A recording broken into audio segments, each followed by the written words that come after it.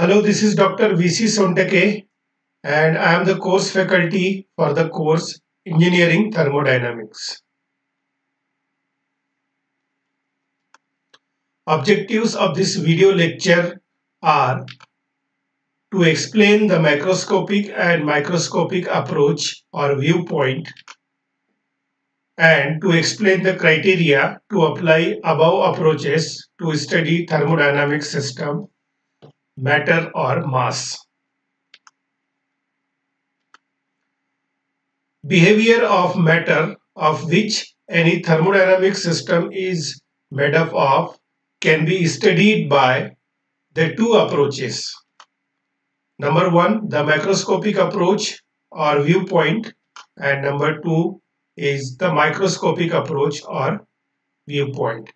Here, the term macro can be understood in a simple sense as big or larger and micro can be considered as small or taking minute details. So before going into the dis detailed discussion of macroscopic and microscopic approach, let us take one example. Let us take the example of a classroom of which an observer wants to study. In approach A, the observer, comes to the classroom and note down following observations. Number one, observation is that all the students are smartly dressed. Number two, all were looking happy and all were appearing disciplined. And last observation is all were following instructions properly. In approach B, the same observer comes and take the following observations. First observation, he noted down that class consists of 40 students. He collected informations of each and every students, detail like date and place of birth, caste, religion, grades, till date, and parents' professional detail. Based upon these observations, these observations, he wants to prepare a database related to average date of birth and place, caste, religion, average, grades, parents, professional details. Now the same observer has followed the two approaches. In approach A, the observer did not bothered, bother about the number of students in the class or what is the characteristics of each student of the class. Rather, he bothered about the average effect the class has produced. Whereas in approach B, the observer bothered to take into consideration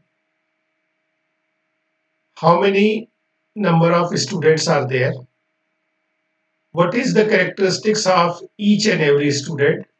What are the properties associated with each and every student? And how these properties of an individual student is going to affect the overall behavior of the classroom. So approach A and approach B. Out of these two approaches Approach A is called as macroscopic approach and approach B is called as microscopic approach.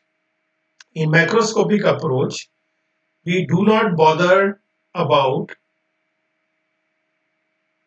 the number of molecules or what are the events occurring at molecular level of mass of which thermodynamic system is made of. Whereas in microscopic approach, we bothered about the number of molecules and the events occurring at molecular level. So macroscopic approach. In macroscopic approach, certain quantity of matter of which the system is made up of is considered. It is not concerned about the characteristics of the molecules and on the events occurring at the molecular level. This approach is only concerned with the effects of the action of many molecules and these effects can be perceived by human senses or measured by instruments. In the classical thermodynamics, that is fundamental concepts, definition and zeroth law or thermodynamics, macroscopic approach is followed. The results obtained by the macroscopic approach are of sufficient accuracy and validity. Examples of the properties obtained by macroscopic approach are pressure, temperature, volume, etc. etc. All these are macroscopic or time averaged variables. Next is microscopic approach.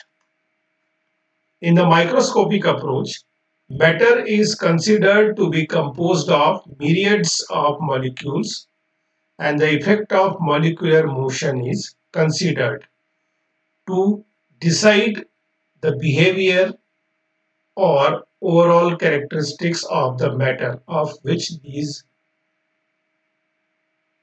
molecules are there.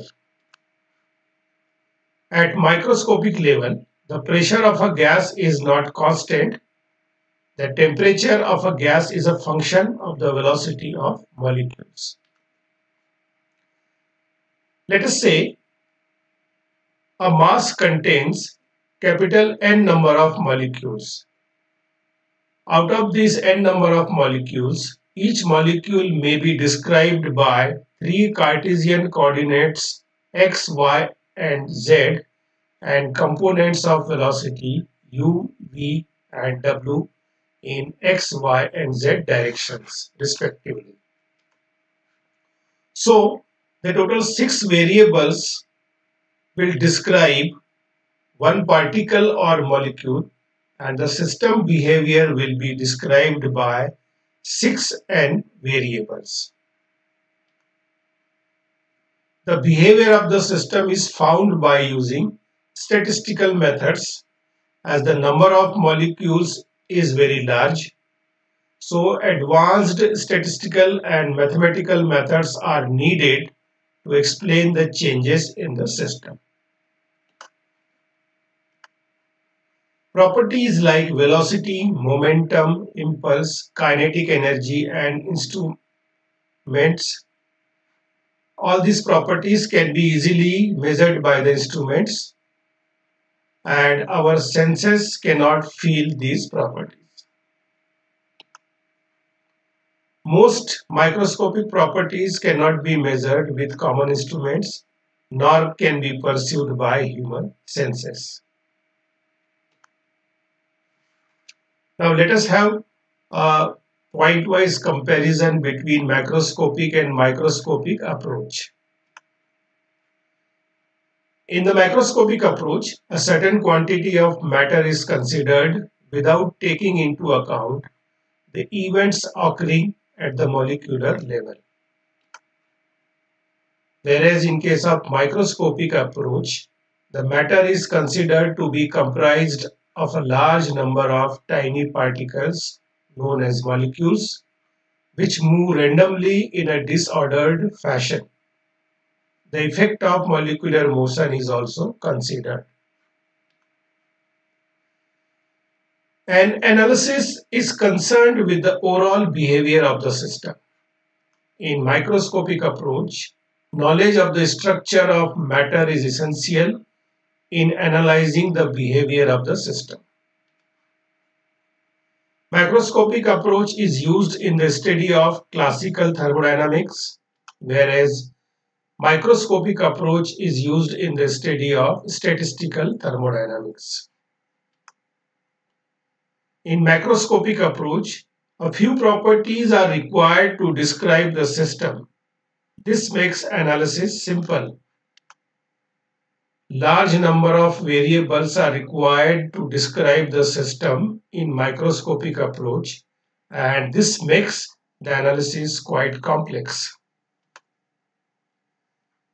The properties like pressure, temperature, etc. needed to describe the system can be easily measured with the help of simple instruments.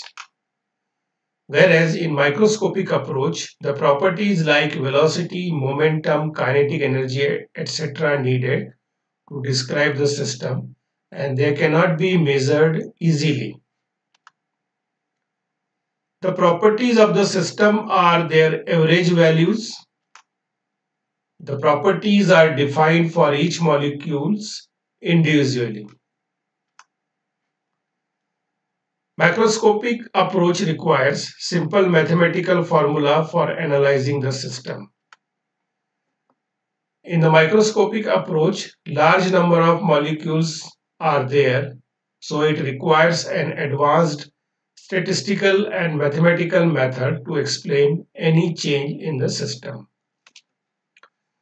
So, in nutshell, I can say macroscopic approach considers the overall or average effect of molecules to decide the behavior of the system whereas microscopic approach considers effect of behavior of each molecule on the overall behavior of system. So after watching this video, learner will be able to explain the macroscopic and microscopic approach or viewpoint and he will be able to explain the criteria where to apply about two approaches to study thermodynamic system. With this I come to an end of this video lecture. Thank you for your kind attention and passionate listening. Happy learning.